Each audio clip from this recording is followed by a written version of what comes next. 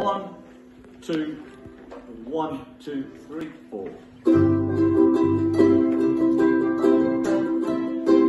I'm Joyce, the librarian, strict vegetarian, 40 and living with mum. She wears sandals and glasses, attends evening classes, wonders if romance will come. Though I've never been kissed, it's not something I've missed until some weeks before. When George, a Rotarian, handsome Lotharian, walked through the library door. George was unmarried, and the torch that Joyce carried was burning a hole in her heart. She wanted to show him, but didn't yet know him. She didn't know where to start. So with growing abhorrence, I read D.H. Lawrence to glean a few ideas, which I turned down flat. I couldn't do that. Not in a million years.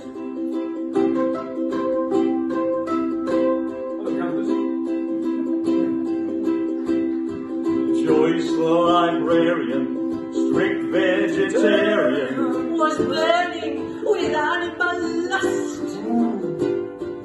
alarming sensations, strange palpitations. A mix of delight and disgust. So she busied herself,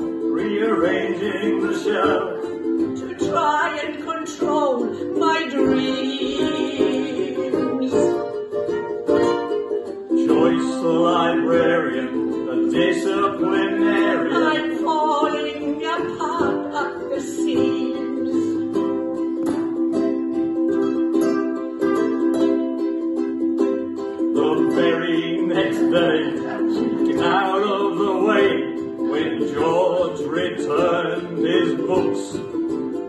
But with growing conviction, she wandered through fiction, threw in some longing looks. But when George appeared in the queue, I knew what to do. I smiled and removed my.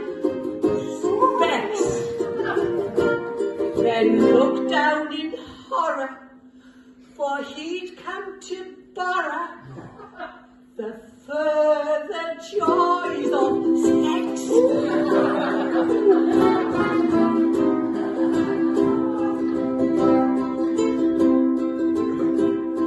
Perhaps because latterly she read Lady Chatterley, something went snap in her head. I gave myself gladly, wildly, madly to George that night in his bed. Then just as she feared, George disappeared, some other librarian to woo. There's a sob in her voice for both book and Joyce. Are a fortnight?